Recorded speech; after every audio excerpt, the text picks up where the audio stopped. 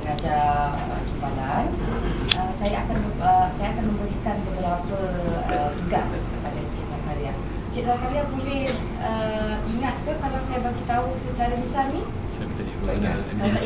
saya cadangkan Encik Zakaria ambil uh, kertas dan pen. Okey, okey, tak apa, tak apa. Yang ini tak payah pen dengan kertas. Tapi bagus, saya bagus. Tapi tak payah ambil kertas. Saya lisan dulu. Okey, pertama sekali um, saya akan bagi tugasan kepada Encik Zakaria untuk mengenali perkakasan untuk timpalan.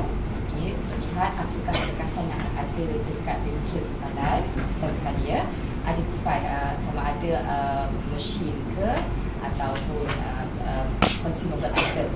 Okey, dan lihatnya saya nak tahu sama ada Encik Zakaria jelas atau tidak uh, bahan-bahan tersebut uh, dalam bengkel timpalan. Itu pertama sekali ya. Yang kedua adalah saya nak Encik Zakaria um, lihat modul dia punya course outline. Okey, maksudnya apakah uh, topik kecil-kecil di dalam subjek timpalan. Okey, uh, sama ada uh, Encik Zakaria uh, tahu ke tidak secara menyeluruh.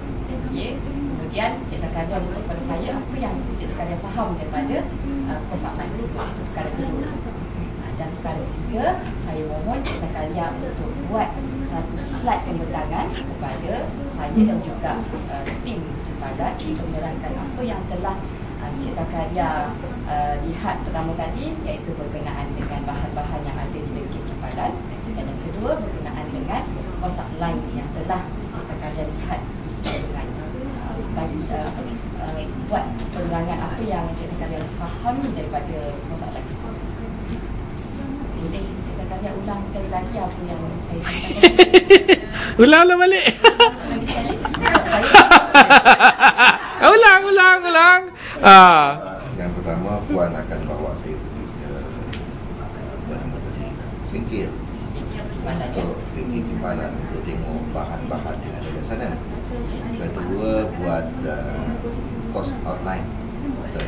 Yang kedua adalah untuk baca Baca. Ah, baca, Baca dahulu manual. untuk ah, faham persoalan Faham. Persoalan sahaja ya Ah. Bukan maksud saya baca satu buku nota dia. Hanya dia punya ah, secara dasar dia sahaja lihat Saya bukan minta Encik atau pada baca buku Ah. Okey Okey. Yang kedua eh Okey, teruskan yang ketiga is uh, buat slide Buat slide Slide tersebut apa sepatutnya yang ada kat dalam yang berkaitan dengan uh, bahan Yang telah dikenal pasti. Yang telah dikenal pasti, ya. Okey, teruskan. Dan juga buat pembentangan. uh, di dalam slide tersebut mesti ada berkenaan bahan-bahan yang telah uh, Encik Zakaria pergi bengkel tadi kan dan lihat. Okay, letakkan dalam slide tersebut. Dan yang kedua apa yang telah Encik Zakaria fahami daripada course outline bengkel timbalan tadi?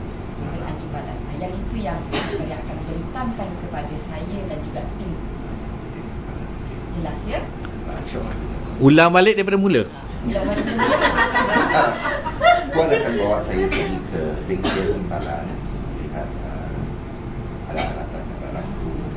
Kedua buat uh, kita akan uh, tengok dia punya outline. bukan kita Eh, yang Zakaria eh, saya. sahaja Ah, nah, ni kita pula. Ah. Ah. Uh, is uh, buat slide berkaitan dengan uh, bahan-bahan tadi bahan-bahan tadi dan penerangan berkenaan dengan alatan dan cost online.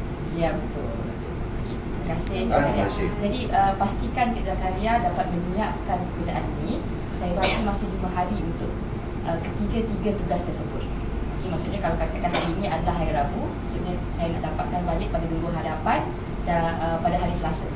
Uh, boleh saya minta sesuatu tu Puan? Ah boleh, apa dia? Boleh tak Puan uh, semuraikan balik arahan?